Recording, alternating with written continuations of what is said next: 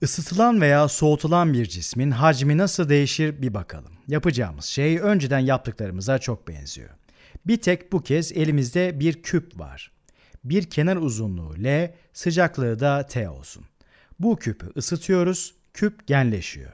Sıcaklığı delta T kadar yükseliyor. Her bir kenarın uzunluğu delta L kadar artıyor. Bizden istenen küpün hacmindeki değişimi bulmamız. Uzunluktaki değişimi nasıl bulacağımızı biliyoruz. Dolayısıyla kenar uzunluğuyla hacim arasında bir bağıntı bulmamız lazım. Şimdi videoyu durakkatıp önce kendi başınıza çözmeye çalışın.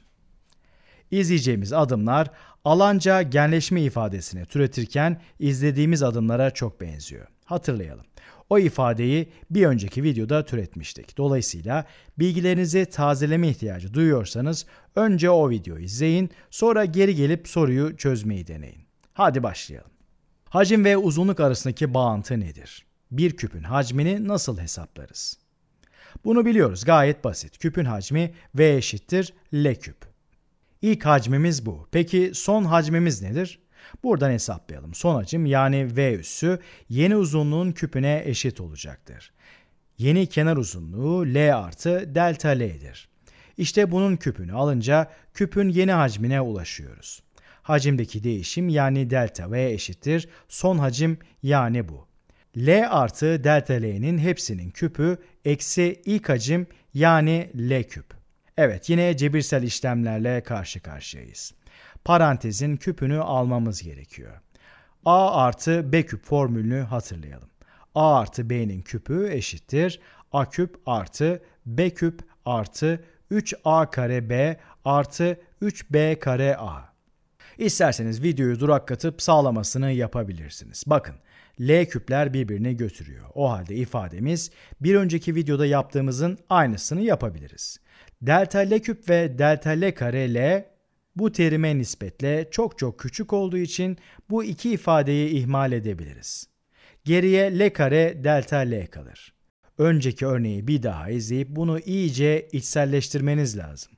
Bu iki terimi ihmal edersek pek bir şey kaybetmeyeceğimizi göreceksiniz. Yeter ki delta L çok küçük olsun. O halde ifademizin yeni hali delta V eşittir.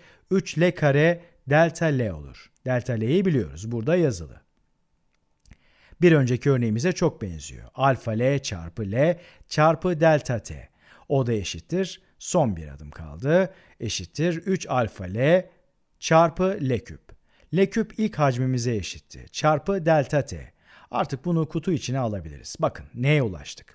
Önceki ifadelerimize çok benzer bir ifade elde ettik. Delta V eşittir belli bir katsayı çarpı ilk hacim çarpı delta T. Bu sayıya ne ad verdiğimize dair tahmini olan var mı? Evet, tahmin ettiğiniz gibi bu katsayıya alfa v yani hacimce genleşme katsayısı diyoruz. Hacimce genleşme katsayısı. Alfa v hacmindeki değişimi hesaplamamızı sağlıyor ve alfa v alfa l'nin 3 katına eşit. Alfa a da alfa l'nin 2 katına eşitti. Şimdi biz bu delta A ve delta V ifadelerini kare ve küp gibi çok basit şekiller için ürettik. Peki bunlar diğer şekiller için geçerli mi? Evet geçerli. İsterseniz dikdörtgen, daire, küre veya silindir gibi şekiller üzerinde test edin. Sizin için de müthiş alıştırma olur. Tam olarak aynı sonuca ulaşacaksınız. Şekil ne olursa olsun genleşme yeterince küçükse bu ifadeler geçerlidir. Son olarak bir de belirli maddelerin alfa L ve alfa V'lerini gösteren şu tabloya bir bakalım. Bakın çeşitli maddeler için alfa L ve alfa V'ler verilmiş. Gördüğünüz gibi alfa V'ler alfa L'lerin hemen hemen 3 katına eşit.